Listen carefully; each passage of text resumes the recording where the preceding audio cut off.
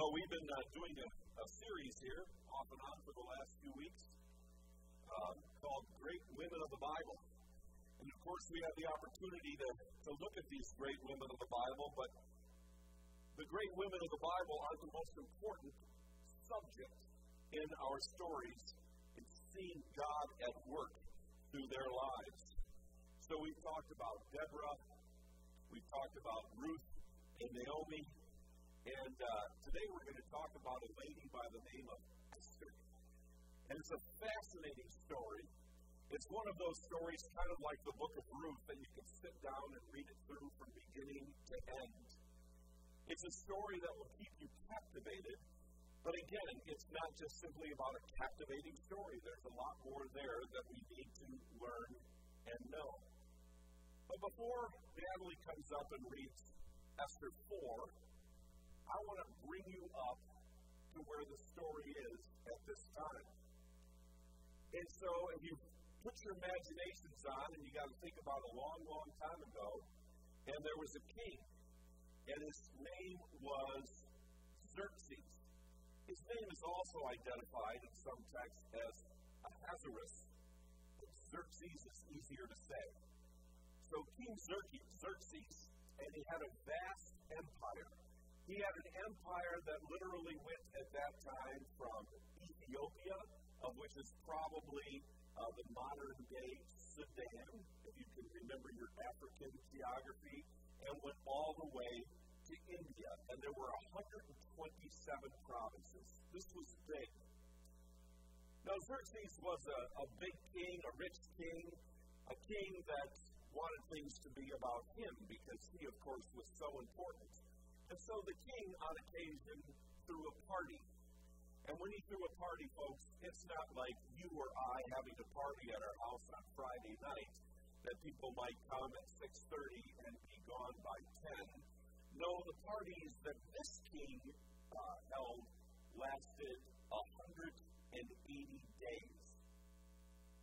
Now, if you want to do that math in your head, that's six months. And the party oftentimes climaxed during the last seven days. And let me just say that these parties were not wholesome events. There was a lot of drinking of alcohol that was going on and a lot of behavior that was bad. And actually, when the king threw a banquet like this, there was typically three parties or banquets going on at the same time. There was one that was reserved for the VIPs, the very important people. They would probably be the ones hanging out with the kings. They would be the ones who were leaders of the provinces, etc., and so on. Then there would be another party that was being held in the capital city. That was with just the regular people. That party became very wild. And then the third party that was going on was with all the wives the women had their own party going on. So you got the VIPs, you got the whole capital partying, and then you've got the wives over here, all in one party. So it comes to the end of this party, these last seven days, and Xerxes, who is probably not sober at this time, wants to show off his incredibly beautiful wife, whose name was Queen Vashti. So Queen Vashti, of course, was at the party with the women, and the officials came to get Vashti, and Vashti was then to go and make an appearance at the king's party. Vashti was not the first strong willed woman who's ever lived.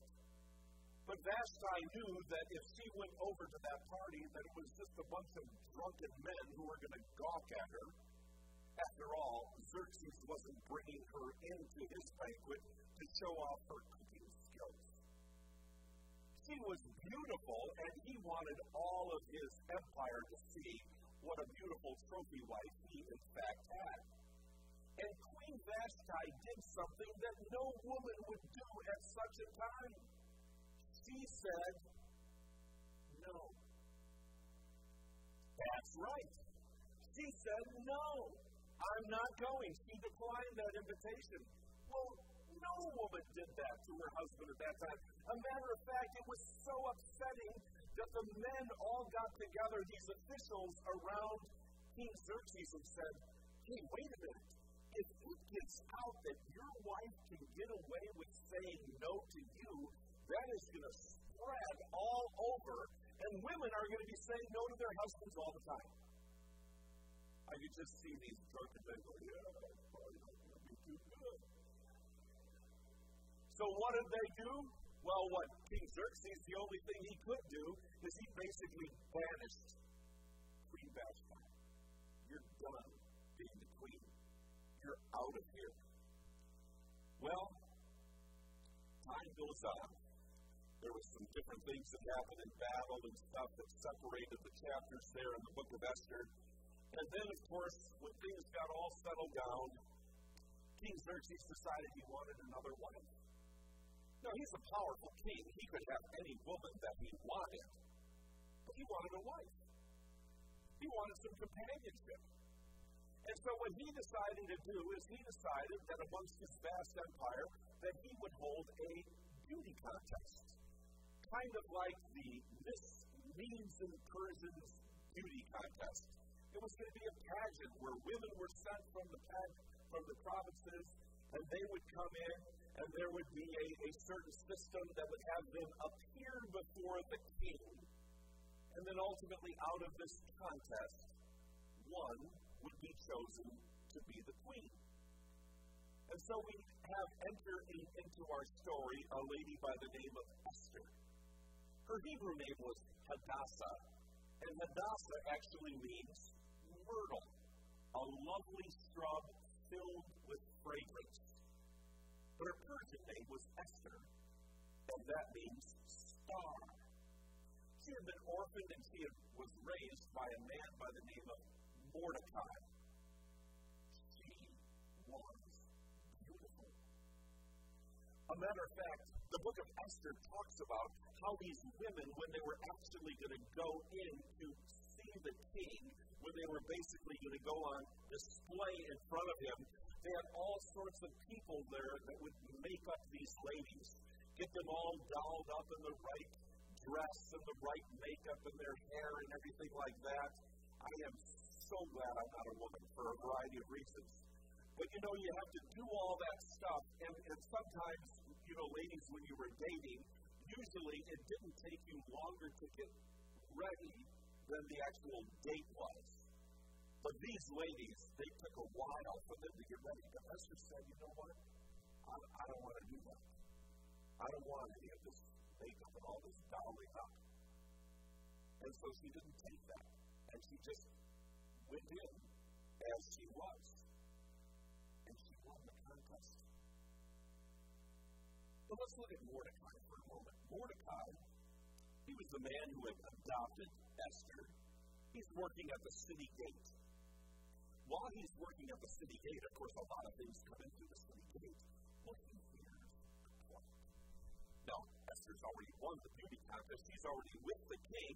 And of course, he hears a plot of some men who wanted to kill Xerxes. So he revealed that plot, got it in through messengers to Esther, and let Xerxes know of those people who were going to kill the king. And of course, then that was foiled. They were punished. And nothing really happened to Mordecai. He wasn't elevated in any way. Whether or not his true identity was shown at that time, we're not sure, but then there was this other man by the name of Haman. Now, if we were doing a melodrama here, I would say every time I say the word Mordecai, I want you to clap, and every time I say the word Haman, I'd like you to hiss. Haman was not a good man. He was an evil man. And he was actually elevated at that time. He was given a large position in the king's administration. And the book of Esther describes him as an Agagite. An Agagite. You say, what in the world is an Agagite? Well, really, it goes back to Canaan. Remember the Canaanites. Those were the people who the Lord gave over to his people and said, Conquer these people, and I will give you their land. Canaan was an Agagite longtime enemies of God's people. Well, needless to say, Haman is really into himself, and as he gets a promotion, he becomes very important, and he's handling the king's business out there, and so he can do virtually whatever he wants. And so when Haman walks by, if you're there in the courtyard, you're supposed to you're supposed to bow down to him because he's really important. It's it's, it's Haman after all. So Mordecai, he doesn't do that. Because see, Mordecai only bows his knee to one, and that's the Lord God. So needless to say, when Haman comes by Mordecai and he doesn't bow down, he gets tremendously angry. He's so mad at him now. Haman has the power. If he wants to take Mordecai out, he can just have him killed right there. But he doesn't do that. Because why stop at, uh, at Mordecai alone? Let's eliminate all of these Jews. All of them. It's amazing, folks, that throughout history, even to this very day, there are nations on the earth that want to take the Jews or the state of Israel and wipe it off the map. And that is, in fact, what Haman wants to do to commit genocide. And so what he does is he ends up going to uh, a few of his friends and stuff, and they literally toss dice. Now, dice in the language of the day were pur, P-U-R. Maybe you've heard of the Jewish holiday, Purim, P-U-R-I-M. That's where this comes from. They rolled dice, and they figured out the date in which the Jews would be exterminated. Then, of course, he went into Xerxes. Now, you have to know, Xerxes probably wasn't always so sober. And he was the king, and so he left the running of his empire to others. So Haman comes in and says, King, I will give you all these treasures. The king had plenty of treasures, but I'll give you all these treasures. I'd like to be able to exterminate the Jews throughout all the provinces that are out there. And the king said,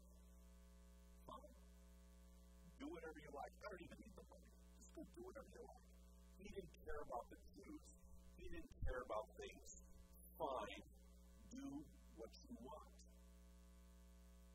Now, the Jews have done nothing wrong. Yet, they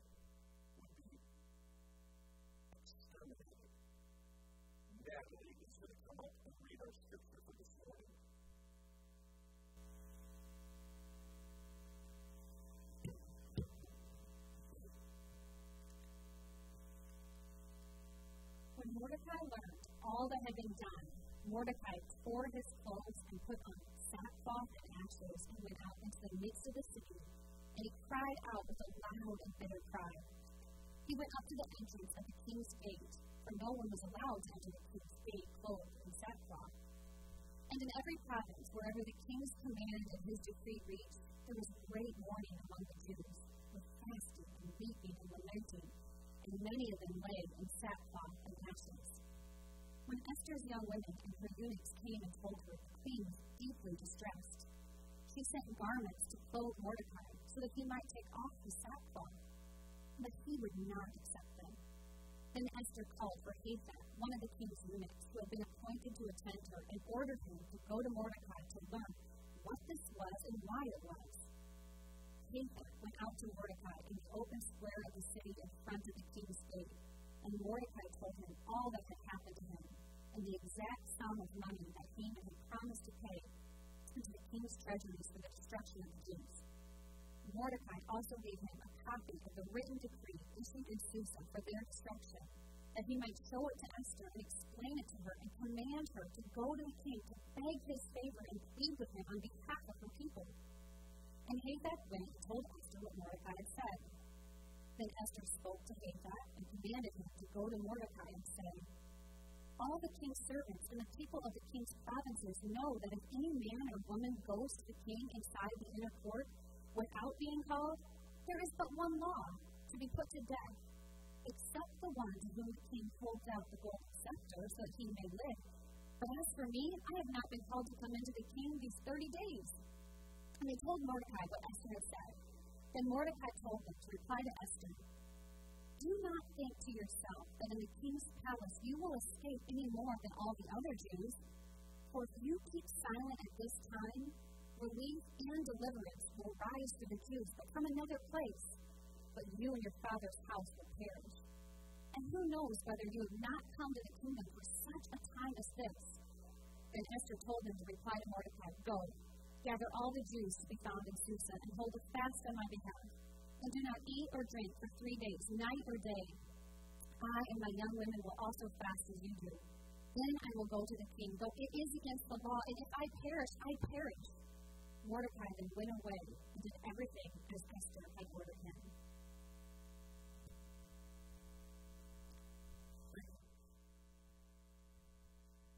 So you can see where we're at with the story. It's very tragic. You see, Esther was Jewish, but didn't reveal that to anybody, including the king. Mordecai was out there and he continued to follow the Lord and bring honor to the Lord. And of course, he was ridiculed by that. It's one of the things that spurred Haman to do what Haman did. And so now we're kind of left in this cliffhanger of what is going to happen to the Jewish people.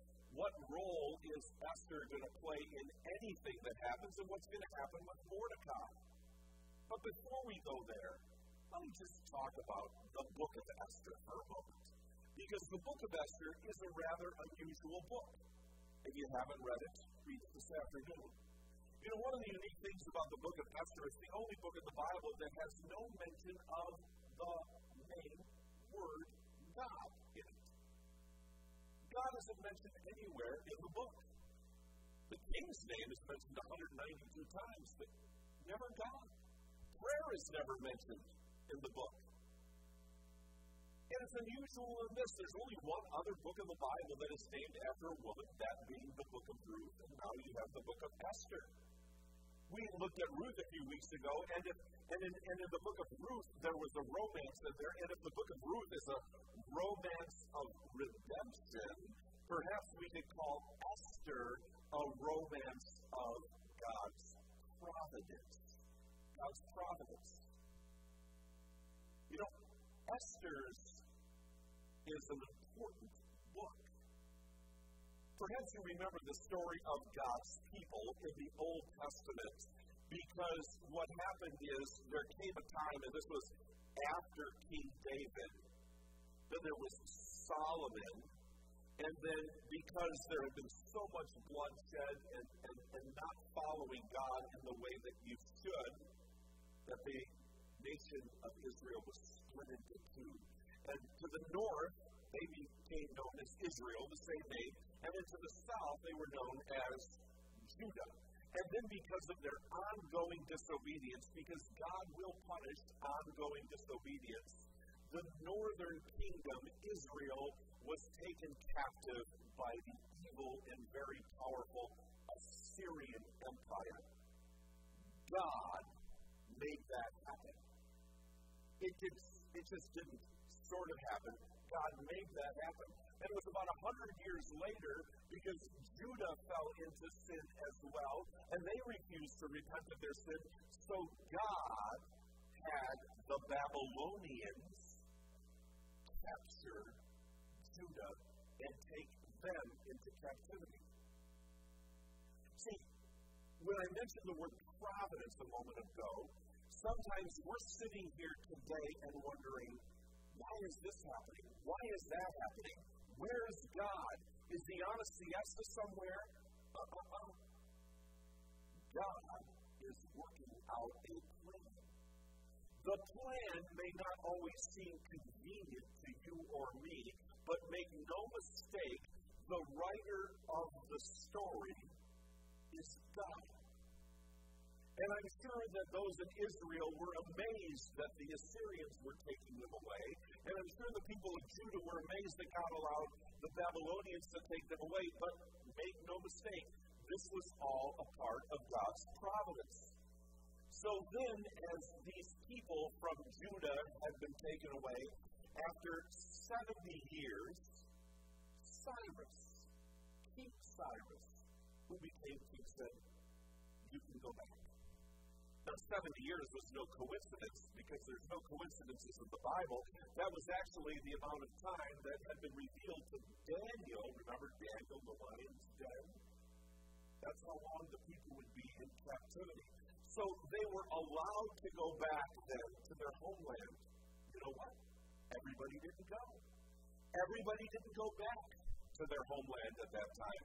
Only some went back. As a matter of fact, less than 60,000 returned. And we know what happened to those people who returned because that's recorded in the books of the Bible, such as Ezra and Nehemiah. And then when you look at the prophetic books of Haggai and Zechariah. And so what we find out happening in the book of Esther was about the people who were everywhere else who didn't return to the homeland. So the book of Esther is very important. And the book, folks, is a lot about providence. It's a big theological term, providence. We probably don't talk about it enough. The providence of God. Listen to this. Providence is the means by which God directs all things. Hear that again. It's the means by which God directs how many things? All things. Both in uh, animate and inanimate, seen and unseen, good and evil, towards a worthy purpose, which means His will will finally prevail. So God uses a variety of means to accomplish His will. They're not always convenient ways or ways that we even like, but His will will be accomplished. Another way of putting it, of which I think is in your outline, God is continually, constantly, and confidently at work. And folks, we need to remember this during especially the time that we're in. COVID 19, uncertainty in the United States, all sorts of tensions of the world. And we could start allowing fear to overtake us because we think, where is God? And we need to remember to repeat this line God is continually, constantly, and confidently at work. Make no mistake about that.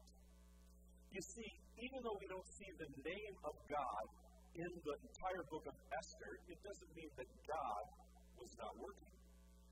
A matter of fact, while God is, God seems absent, He is there.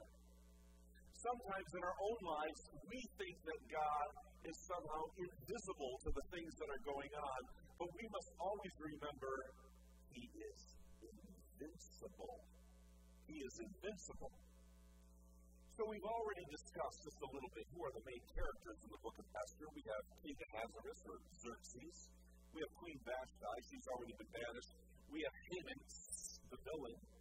We have Mordecai, the Jewish man living there in Persia, who was godly. And we have Esther, whose Jewish name was actually Hadassah. So, what is the rest of the story of Esther? Picking up from where Natalie just read a little bit ago genocide that's about to happen to all the Jews throughout the entire empire. How many are we talking about? I just said a few moments ago, only about 60,000 returned to the homeland. There were two to three million Jewish people living throughout this empire. And here's Esther. You know, what a life. She's adopted by this godly man. She's being raised. They go in for a beauty contest. Somebody says that, you know, you probably win that thing. You only go. So she's brought into that. She wins. She's literally living as the wife of the most powerful person in the world. You wonder if Esther, anywhere along in this story, asks this question Why do you think this is all happening? Why am I here? Why did this happen to me? I mean, do you ever ask yourself the question, why am I living now, 2021?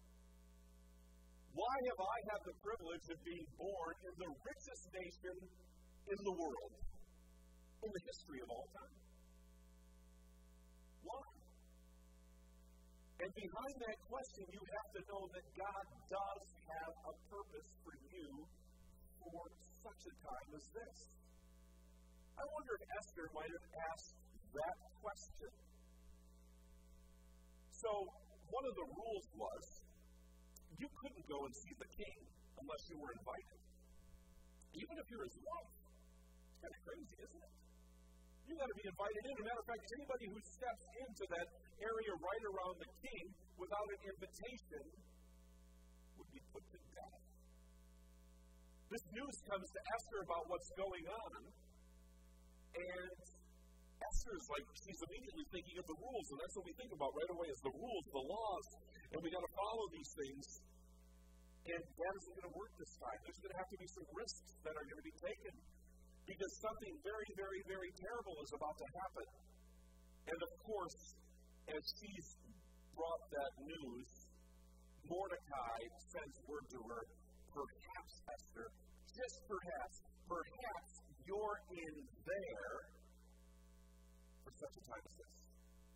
Perhaps that's why you're alive. And that had to just agitate inside of Esther because she's not saying, seeing a way beyond the rules that she's subject to. And we can ask the question surely, God, you wouldn't have me do something that big. I'm just a little person here. Remember, this isn't a story about Esther, this is a story about God. God always does extraordinary things through ordinary people, of which Esther was extremely ordinary. So she declares that they're going to have a fast. And then she declares she's going to go in. And here's what she said And if I perish, I perish. Folks, I could translate that phrase in, in today's words to mean this What do I have to lose? What do you have to lose to go out on a limb with God? What do you have to lose to be the witness that God has called you to be? What do you have to lose to do something that God calls you to that's extraordinary? You have your salvation. You have eternity with God in heaven. You think you're rich here? This is being a pauper compared to what's coming. He said, If I perish, I perish. And so now she was willing to take that risk. The king ultimately agrees to see Esther. And he is courteous to her. He likes her, maybe even loves her. And he shows real concern. He, he says a common phrase at that time I will give you up to half of my kingdom. And that was just a phrase that a king like that would use to say, I'm going to be very generous with you. And so what did Esther ask for? She says, I'd like to have a banquet. So he says, sure, let's, let's have a banquet. So she has a banquet. And uh, she has a banquet with the king. And uh, guess who she invited to the banquet? This guy by the name of Haman. Because she wants Haman there. She's found out some things about Haman. And they need to be revealed. So when the king uh, is there at this banquet, once again, he turns to Esther and says, What can I give to you? What can I do for you? And then you know what she said? I'd like to have another banquet. I'd like to have another banquet tomorrow. I'd like Haman to come tomorrow, and then truly I'm going to answer your question. Now, you have to think about Haman for a moment. Haman, who's a very sinister, evil man, he is at the top of his world because he has now concocted this evil scheme to exterminate these people that he has long hated. And in the midst of that, he keeps getting invited to banquets with the king. And the queen is there as well. How could things get any better than this? Well, he's walking home from this banquet. And guess who he sees in the courtyard again? Mordecai. And Mordecai is no more willing to bow to him today than he was at any other time. And he is just had. So he goes home to his wife and gathers some friends together. What are we going to do about this Mordecai? He's such a pain. So you know what they said as a loving wife turns to her husband and says, Kill him.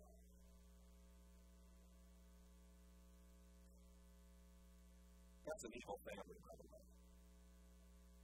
Build some gallows. Build some gallows. And then go get permission from the king. I mean, after all, if he's allowing you to kill the whole race, just to get permission to, to, to kill Mordecai. And so he thought, I'm going to do that. I'm going to do that. So they're going to build gallows. And you know, in the history of the day, they're probably not gallows like we picture in our mind, like in the Wild West, where they have a big noose hanging down. It was probably way uglier than that. It was probably a big stake with a point on it, on which they impaled the body. Ugly. So that's what they were. He was going to have that built for for Mordecai to be killed on. And then, with that in mind, they've got the race that's going to be exterminated. To get rid of this Mordecai guy, oh, oh, I have an invitation for a banquet. So he goes to the banquet. And so, what happens when he goes to the banquet is what I could describe as a twist in the story. And if we had to translate the word twist in the story, we would call that providence. God's providence. You know, it's interesting. Before he gets to the banquet, the night before, when we go into the king's chambers, King Xerxes isn't able to sleep. Now, I don't know what you do when you can't sleep. Sometimes people get up and they maybe fix themselves a snack. Some people might get up and watch TV. Some people might get up and read a little bit, whatever you do when you can't sleep at night. Well, when the king couldn't sleep at night, he's always got people waiting on him. And so he said, Would you go get some of the history books of our history and read them to me? So they did. They called it the Book of Remembrance. And, and they're starting to read to him the Book of Remembrance because he can't sleep. I wonder why he couldn't sleep. Remember, this is providence. So as they're reading him the book of remembrance, they come to the part where this man named Mordecai hmm, foiled a plot to assassinate the king. He comes to life a little bit. He says, Hey, wait a minute. Did we ever do anything for that guy? Did we, I mean, did we ever do anything for Mordecai? I mean, he saved my life. And the officials around him says, No, no, we didn't. No, no, nothing was ever done for Mordecai. Well, that wasn't going to stay that way. And then all of a sudden, it's almost abruptly in the story, the king says, Hey, who's down there in the court? Like somebody was going to come in.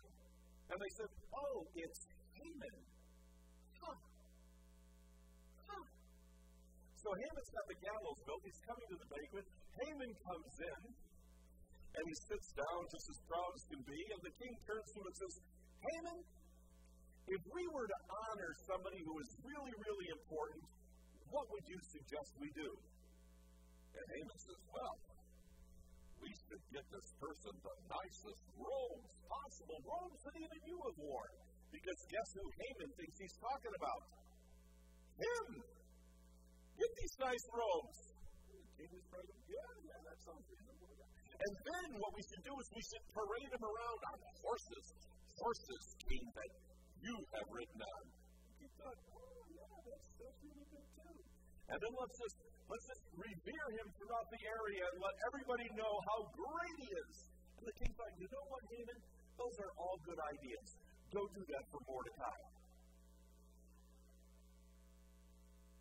The oxygen just left the room. Guess what Haman did? Haman ran home, probably sucking both of his thumbs at the same time, went home to Zeresh, his wife, and said, You know what just happened? And he tells her the story. And she said, Not good. This is not a good sign. And she knew that something up was up that would ultimately not only spell the demise of Haman, but spell the demise of their entire family. God's providence is at work. And so, what happened in that second banquet when it was held? Esther revealed what was going on. She revealed to the king that there was this plot to kill all of the Jews, of which she was one of those people and that they were set to be exterminated throughout the land, two to three million people. And the word was already out there that this was going to happen on a specific day.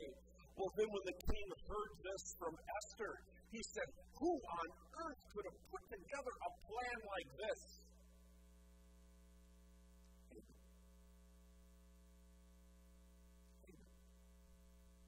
So, long story short, folks, the gallows that were created for Mordecai were now used for Haman. Mordecai was elevated, and the Jews were saved. Now, there's more details in the story than what I just communicated. You can read that on your own. But I want to just spend just a moment here now talking about the significance of the story, the significance of this woman, and what we can learn from it. Who is Esther after all? Well, she's grace filled. The fact that she pleased the king, that's what the book of Esther says. It says she pleased the king, literally could be translated lifted up grace before his face. Lifted up grace before his face. We are called to be people who see grace and pass grace onto other people. Lift up grace before other people. That's what defined Esther. She was a grace filled woman. You can be a grace filled man, but you extend grace to other people. Lift up grace to others. Be kind to them. And of course, we're called to be that grace in this world to bring the good news of Jesus. She has a teachable spirit. She's in an entirely new environment that she's never been before. She held on to the things that were so important to her, mainly her devotion to God. But she was teachable. Mordecai kept teaching her. She kept learning. She's going to become totally like the Persians. But no, she remained teachable under the tutelage of Mordecai folks, maintain a teachable spirit. A teachable spirit, you can learn new things about the scriptures. That doesn't mean it alters your core beliefs about who God is and what He does in this world. But remain teachable. Esther is also modest. I don't believe that Esther really had any desire whatsoever to be the queen. She wasn't looking to get all painted up. She's just, she's just a modest, grace filled selfless woman. And she is kind in spite of her surroundings. The book of Esther talks about how she's winning the favor of those people around her. She was pleasant, she was attractive, she was pleasing in every way. This was the type of woman, the type of person that she was. So, how did Esther become a hero? And, and how do we become a hero? You don't really ascribe to be a hero, but she actually became the heroine in this case, of this story. Well, she received a huge challenge from a devoted friend. Perhaps you were brought into this royal position, Mordecai said, for such a time as this. Perhaps you are living and working and serving. Perhaps you are living, working, and serving at this time in 2021 for such a time as this. Esther was brought by God to be the queen. Esther was brought to this position to help spare God's people. Esther was brought here to this place to oppose an evil man. Esther was brought here to be a part of God's redemptive plan. Why are you here today? Why are you alive today? God has a purpose for you. God did not have you born at this time for no reason. God did not put you here to accumulate more wealth and buy toys. I'm just telling you, He didn't do that. That's not His purpose. Esther was finding out His purpose, and so must we. Let's be bold. Let's speak into people's lives. You know, when we see these kids up here and we're challenging them to read the Bible, each one of them has a purpose. God has big plans for them. I would suggest God has big plans still for us who are out here. It takes me to the story of which we'll tell another time about Caleb, who I think was right about 80. And they needed to still do some fighting. And he said, Put me in the front of line. I'm ready to go. Let's go. I trust God. We can do it. So whether you're 8 or 80, read your Bible and continue to live out the purpose that God has for you. Let's be bold. Let's be bold. Let's be courageous. And then God uses crises to help shape our faith. I think we could all give an amen to that. God uses crises. You know, if I had to ask everybody in this room, when did you grow the most in your faith? I bet a large portion of you would say, when this happened to me. And the this isn't always pleasant. Sometimes it's through an injury, an accident, a death, some sort of a tragedy, something that you would cho- have chosen not to have, but it happened. And God often strengthens our faith under the umbrella of crises. Because we sense at that time there's nowhere else to go but to God. Matter of fact, James, the brother of Jesus, in, in his book in the New Testament, he says, Count it all joy. Count it all joy when these trials happen, when these troubles happen, because in them you are going to be grown and shaped and shaped. What did Esther do? She ultimately called for a fast, and then in faith she said, If I perish, I will perish. God strengthens us when we admit our weakness. Every there are times in our lives when we just have to jump. We just have to jump and trust the Lord. God strengthens us when we stop pretending that we are in charge, that we are the strong ones and the confident ones in and of ourselves. If I perish, I perish. You know, survival was not her primary goal. Sometimes that's what becomes our primary goal survival. We oftentimes pray, Lord, keep us safe. And, and I don't want to criticize that prayer, but certainly we have people throughout the Bible who weren't kept safe. Certainly we have people in the history of Christianity who weren't always safe. Here's where we need to find our safety in the arms of Jesus. If I perish, I perish. See, what happened in Esther's life needs to happen in our life. Her worst case scenario was not death, her worst case scenario became disobedience. We have to remember that. God strengthens us. He strengthens us when we risk to obey. We must take the first step. God has a calling on our life. You have come to this moment in time, and it is not for nothing. You may think, you may think you have a trajectory for your life. College students that are here, you may think you have a trajectory for your life, that you've got everything lined up. I go to college, I get married, I get a job, I have kids, and I pay for my house. It doesn't always work that way. God may have other plans. I love talking to missionaries and how they ended up somewhere on the remote parts of the world, on the island of Boca Boca, wherever that is. Did you plan this? No, we really didn't plan this. I didn't plan to be in Pella, Iowa. So many people think they have the trajectories, but when we open ourselves up to God, God comes in, intervenes, and puts us on His trajectory. And our mandate is to do one thing, and that is to obey. So let me close with this. Not until we believe that one person can make a difference are we going to be willing to take a risk? One person can make a difference. You can make a difference. And when you understand that you can make a difference, you can take that step, then you're willing to take a risk for God and to do something. Quit being careful about protecting yourself. Take a risk and watch how God gives you wisdom and courage. And then move from thought to reality and make a difference.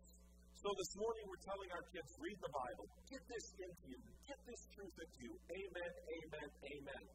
People of God that are sitting here, get the Bible into you. Read it, study it, memorize it, meditate on it. But remember, thought about Christ isn't the end. It's what you have done, what you have done about what you think about Christ that's important. What you're doing about what you think about Christ. Don't just stop at thought. All you then become is a fat head. It's what you do, what you think about Christ. That's important. God wants warriors like Esther. I found this out this week. I find this interesting. And let me close with this. That's my third closing, but it's my final one. Lions and tigers, you've heard of them. You know that if a lion would fight a tiger, do you know who wins? You know who wins? Tiger, thank you. Thank you. It's interesting that both of these play in Detroit. And they're both losers. that has nothing to do with the story. When a lion and tiger fights, a tiger will win. But when ten lions face ten tigers, who wins? The lions win. Why? Because tigers fight alone. Lions fight best in a pride. So here's my challenge. Fight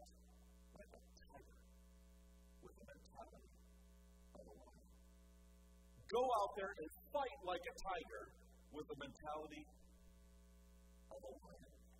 Let's pray.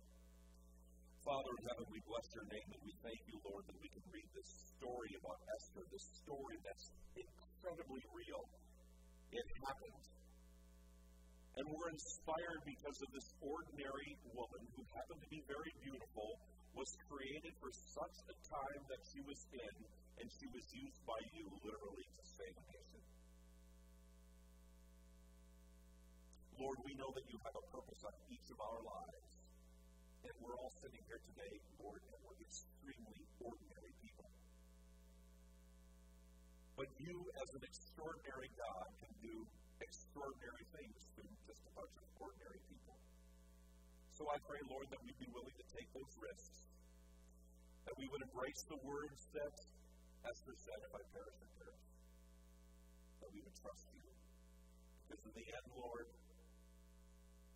it's all going to work out to the way you want it to. And we're grateful for that. And it's in Christ's name we pray.